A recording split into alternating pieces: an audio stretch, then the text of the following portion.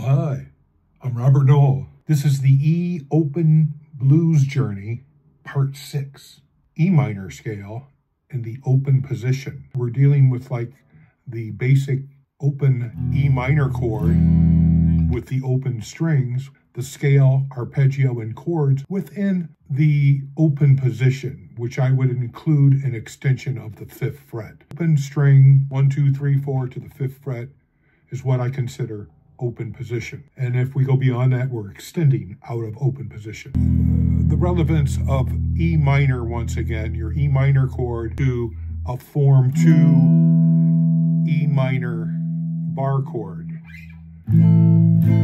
It's like moving your chord down, and some people call this the CAGED system. Uh, you would move that down to the open position, you have your E minor. You should examine all the chords you can in open position, how many E minors can you put? Realizing also in music theory that E minor is relative to the key of G, very important. G and E minor contain the same notes. If you take your G scale, one, two, three, four, five, six, that sixth degree of the scale is E. And that's how we determine our relative minor. G to G would be a major scale. If I play E to E,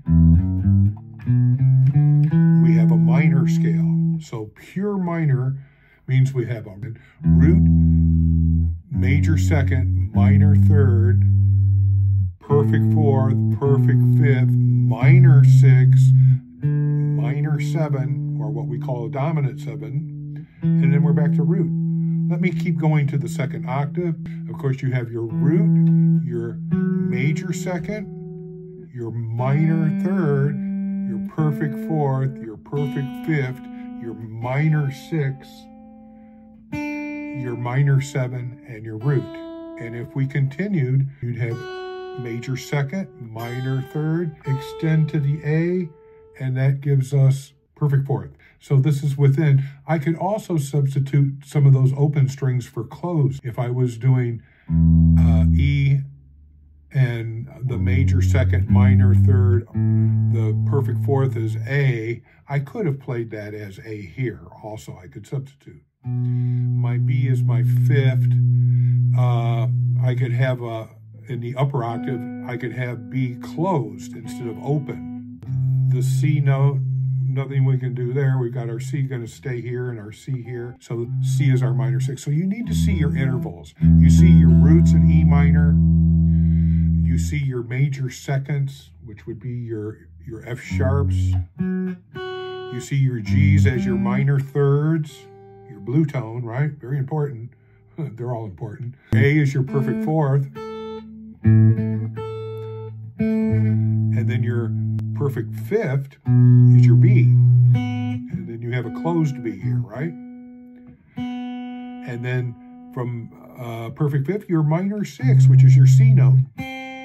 And then your D note would be your minor seven or dominant seven, which makes it a seven, is your Ds. It's important you see that so that you can build your chords. You have your E minor, you can have E minor seven, you can add nine, you can have a, a nine and a seven, you can bar the fourth finger for the seven and the minor third, gives you that lovely, uh, we would call that uh, plus, we could say plus nine. We've added the minor third on the top with the seven. Lovely chord. Your third, like I am here, almost like a G chord, and bar your first finger. You have your minor third, perfect fifth, minor third. A, you have a suspension, which would be your suspended fourth. Ah, that's kind of cool. We could add the seven, and we could add the G on the top, and a G chord. You know, you've added a major six. The semblance between your minor, E minor, and your relative major, or relative major to relative minor. E minor to G chord. Very important to see the relevance here, okay? The relative. Once you look at E minor and you look at the shapes that I'm making here, you know, this basic shape here, a lot of people play this chord this way. I like it when you play it this way. It lends itself to some notes and it feels right. But this is an alternate way of fingering your E minor. Bringing in that second finger for the minor third and maybe barring the first finger allows you also to bring in a closed B and another root up here closed gives you another um, variation or uh, inversion of E minor. So I can either have the minor third in the bass or the root in the bass.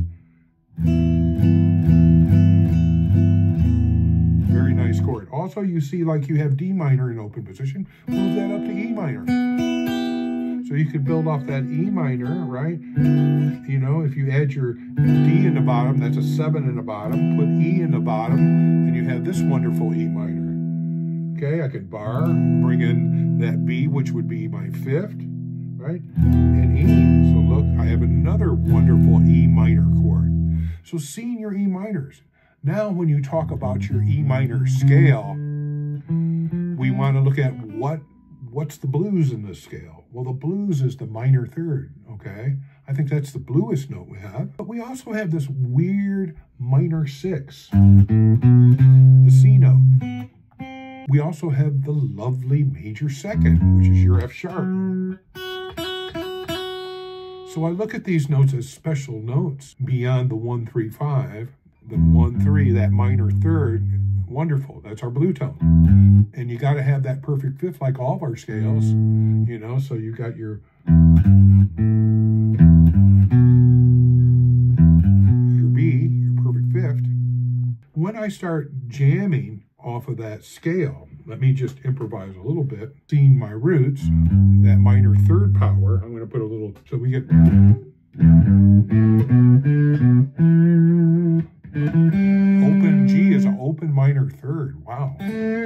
we can hammer that in. We can bring that in with the hammer.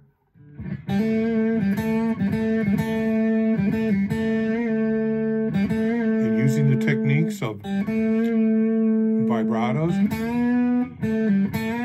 down pull, whole step to a perfect fourth to fifth,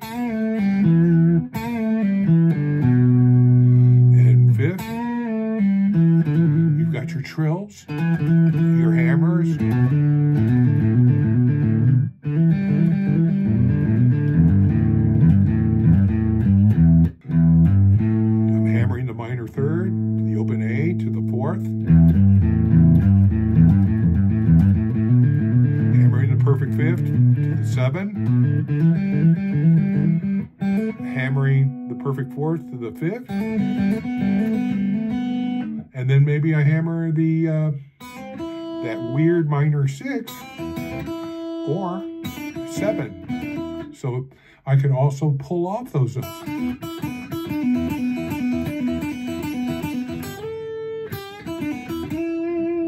Back to hugging that root. Uh, we like to do that in all the scales. Here's that D minor form. I call it D minor form, but right here it's E minor.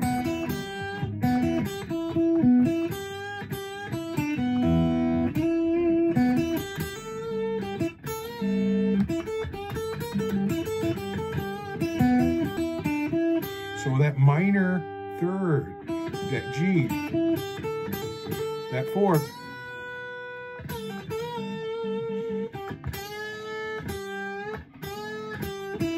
first finger bend on the minor third.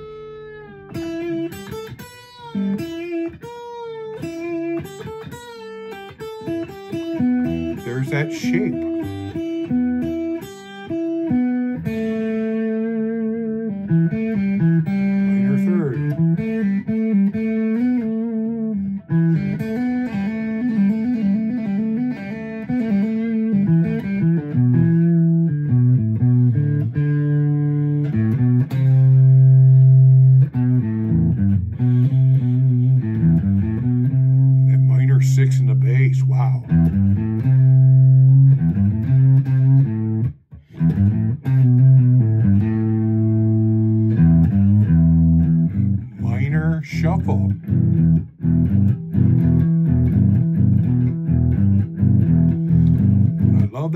That that minor shuffle. Wow.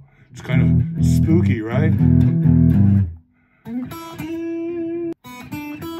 Don't want to get that if we're sticking to minor scale, leave that tritone alone. That belongs to the, the blues scale, which we'll talk about minor blues scale and integrating it with all the other scales.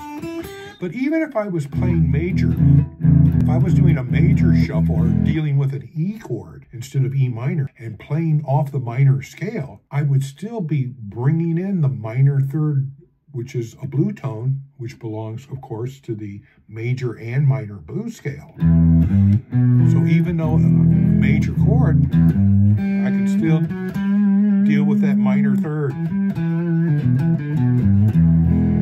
whether it's major or minor. The weird note might be that minor six, because if I'm in major, ooh, it's, it's spooky. It's almost like a really gloomy note. But in the minor, also has a mysterious effect in the blues. So one uh, very special note of that minor scale to me is that minor six. Minor third, great. Second or nine. Major second is also called a nine up here when you add it. I like hammering that. Stevie Ray Vaughan liked to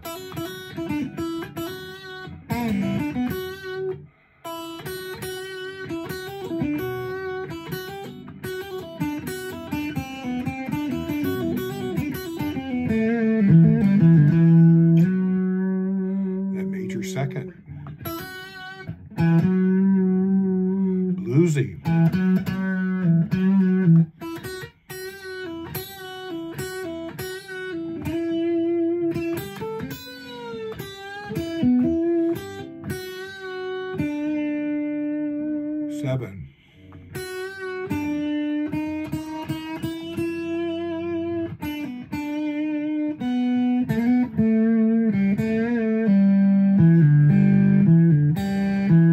I try to utilize that open minor third because it's cool having a pull off to the open G string minor third, the key of E minor.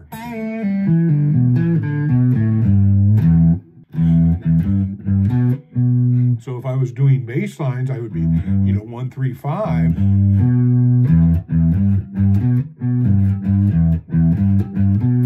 Minor six. Major second, minor. Pulling off to the E. Pulling off the A. So remember, your A is your fourth. So that's your you're suspended. Very special note. To me, once again, I'll say it's the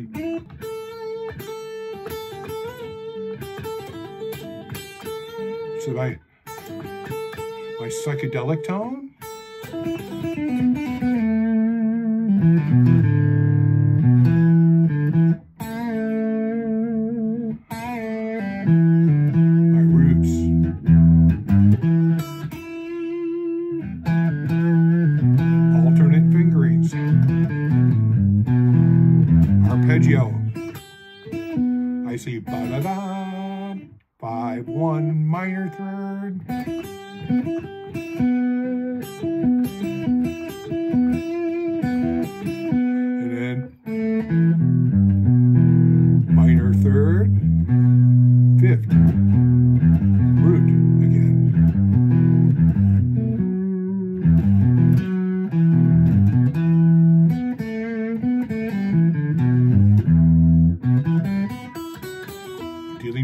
Open strings. My arpeggio. My minor third, perfect fifth, root.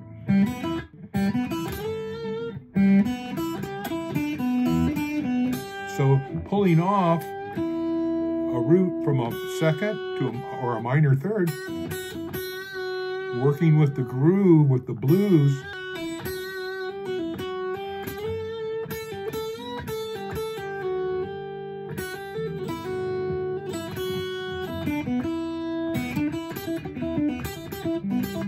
riffs we can come up with.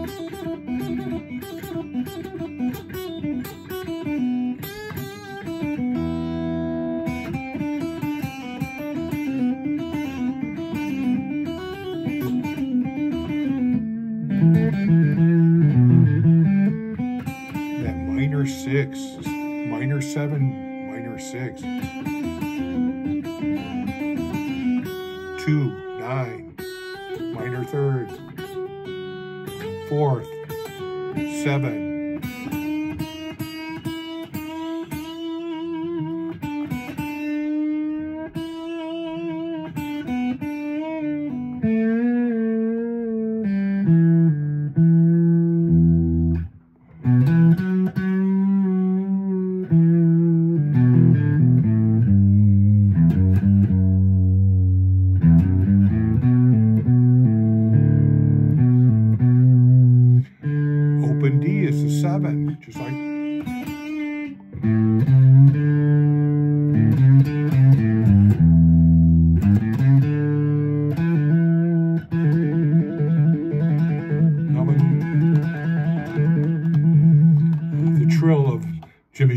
Hendrix and so many trills.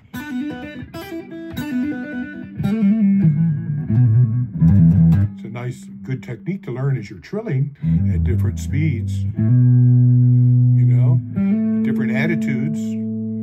But she says trilling pull-offs, hammer-ons,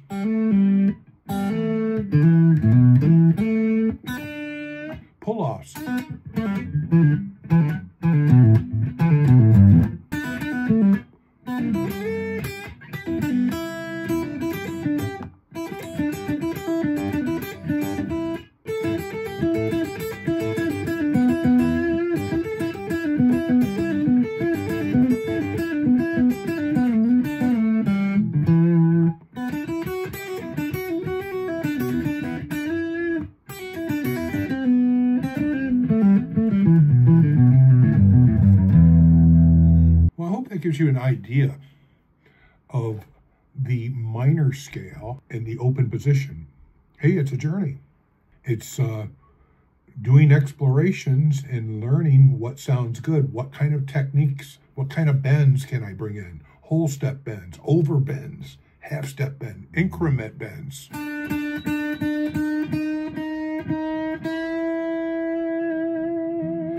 The increment bend from up. The crying techniques.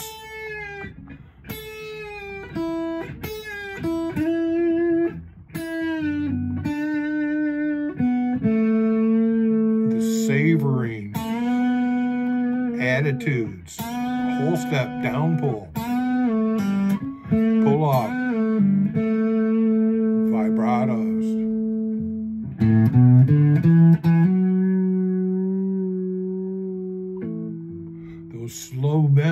the feeling, the emotion that you can put into your vibratos, your pull offs, your hammer ons, your trilling techniques. There you go. Uh, have fun with your explorations, and this has been another adventure. Number six. Sure, you hit the like, would be nice. Uh, subscribe I'd love to have you as a subscriber to know what's going on and be able to see all the updates and videos and lectures and things I do. If you want to get deep into blues guitar, if you want to get deep into learning guitar, you might consider joining my Guitar Zone family is if you're really serious and want all the chart and have lessons with me, we can do remote, we can do visits. Uh, there's different levels of tiers, so I can get a little money to keep me going here. You know, I've got to survive. I'm getting older and just could really use some help. So you'd be helping ease my life a little bit, make my life a little better to continue doing what I love doing, and that's teaching and playing the blues. Maybe I'll even get back out on the road sometime and be able to meet you in whatever city or whatever country you're in. I hope. Anyways, I love teaching, so I would love to have you join my Guitar Zone and be part of my family. I call it my family, yeah. I've got students that have been with me who uh, been loyal to me for many years. I mean, lots of years, decades, and they've been with me, and we study and we have fun, and we use the guitar not only for performance and fun, but we use it for healing, to keep the dementia away. You know, we want to keep our brains alert, thinking and doing things, the dexterity of things that we can do with our fingers and hands and jumping around on stage, whatever. There's just a whole lot of good that comes out of playing guitar, being into music. And I love teaching it. Like I said, I'm into the psychology. I'm into the, I'm a wannabe neurologist. And psychologists, psychiatrists. I bring all of that stuff I study into what is my guitar philosophy. So I have a guitar, I'm a guitar philosopher, I'm a guitar scientist. I love it. Probably the thing that I'm best at is I'm a blues guitarist. That's what I've found that uh, is my forte. But I love classical music. I love Baroque music uh, so much. Anyways, I'm getting carried away again. Hope you enjoy the video. Stay tuned for number seven, part seven of our journey in the open E. Open E. We're dealing with open E. Everything in open E. Major, E minor, types of chords, the arpeggios, and what we can do. You know? All right. Bye.